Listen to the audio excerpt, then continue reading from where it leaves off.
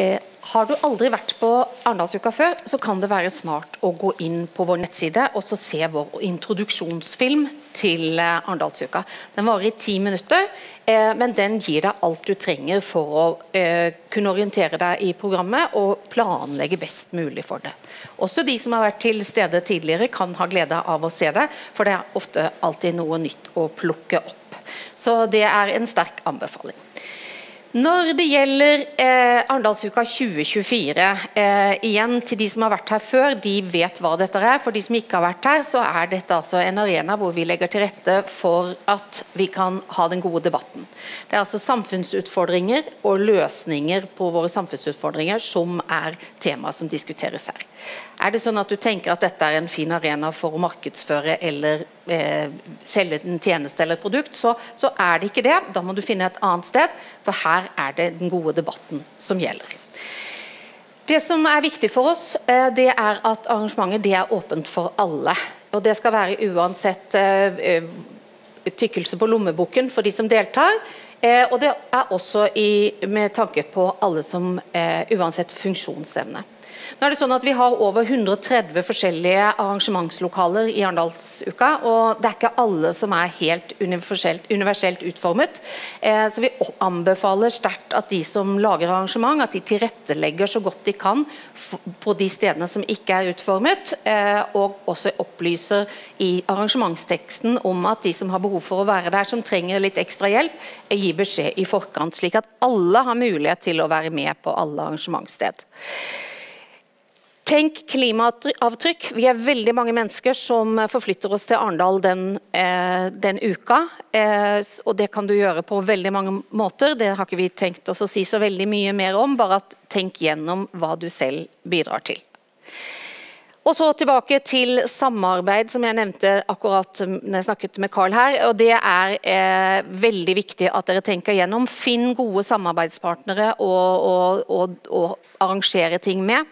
Det gir bare fordeler. og eh, Du skal se at du finner både noen nye venner og noen du kan jobbe med i resten av året også. Og så eh, til noe som vi ser har blitt en liten utvikling de siste årene. Eh, og det at vi opplever at eh, noen eh, lager veldig fancy arrangement. Eh, og Det er jo sikkert hyggelig, men det er ikke nødvendig. Eh, det er innholdet som teller, og ikke de fancy rammene som mat og drikke og alt det andre. Tenk på det. Og så er det sånn at Du klarer veldig fint å lage et arrangement selv i Arendal. Eh, og Vi har flere guider inne på nettsiden vår hvis du er litt usikker. Du behøver ikke benytte deg av fordyrende mellomledd som eventbyråer og andre byråer. Eh, dette klarer du veldig fint selv. På nettsiden kan du også finne ti tips til et godt eh, og rimelig og godt arrangement. Eh, igjen, det er ikke nødvendig å bruke veldig mye penger hvis ikke du ønsker det. Eh, og her gir vi mange tips, både til hvordan du kan finne rimelig overnatting, eh, hvordan du kan finne rimelig lokalleie til å ha et arrangement. Eh, og der er det spesielt store variasjoner eh, innen dette med lokalleie. Så gå gjerne inn på nettsiden vår, der har vi en liste over veldig mange arrangementssteder der står også priser på disse, og de ligger vanligvis fra 1000 kroner for en bolk eh, til, eh, det, ja, til, ganske, ganske mye mer. Vi ser at eh, noen av arrangørstedene tar ganske godt betalt, spesielt litt sånn lengre ut i, i, i pollen. Så bare gjør deg opp din mening, hva du har lyst til å betale, og så finner du et sted som passer din lommebok. En annen ting er at Vi anbefaler at arrangementet ikke skal vare mer enn 45 minutter. Det er fordi at eh, da blir det bedre flyt i, i eh, selve arrangementet. Fordi at det er da vanligvis nærmere 2000 arrangement, og folk skal forflytte seg. Veldig mange skal på et nytt, eh, og da er det dumt at de reiser seg og går midt under debatten din. Og så skal man ikke undervurdere det som skjer i, eh, i den, de møtene man har på vei inn eller ut av et arrangement. Der kan det få komme mye godt ut av, så pass på å ha tid til det.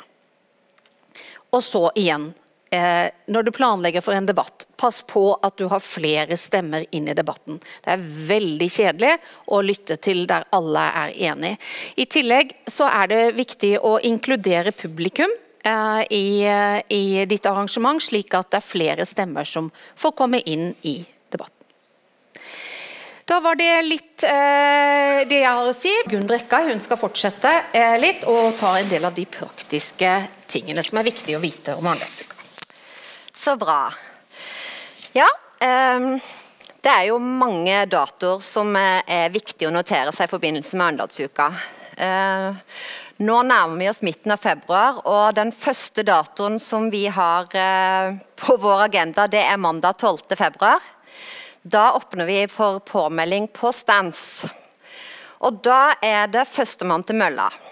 Ehm, da er det sånn at Stortingspartiene de står på eh, Sam plass, som er rett utenfor rådhuset. og Så blir resten av eh, standene nummerert, så det skal være lett å finne fram.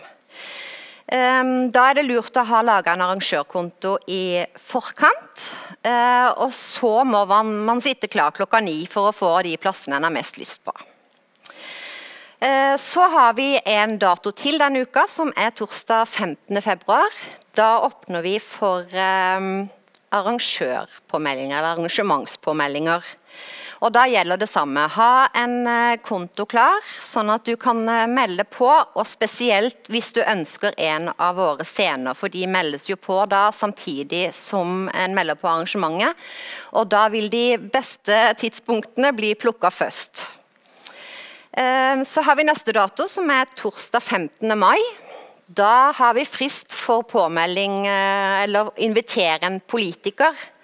Eh, dette skjemaet ligger også på vår hjemmeside, så da kan dere gå inn og invitere de dere har lyst.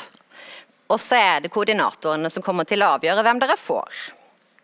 Så er det sånn at eh, alle har eh, en sommerferie, og alle ønsker en best mulig sommer. Eh, og Derfor ønsker vi at flest mulig melder seg på før sommeren. Og Da har vi noen frister til.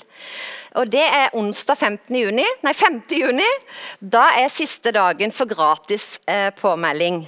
Eh, fra torsdag 6.6 da koster det 3000 kroner å melde på et arrangement.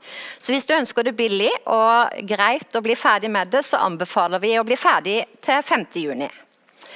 Så har vi en dag til, og det er onsdag 19.6. Da eh, er siste dagen for disse 3000 kronene. Fra onsdag 20.6 så vil det koste 6000 kroner å melde på et arrangement. Onsdag 19. juni, da er det også siste dag for å komme med i programavisa vår.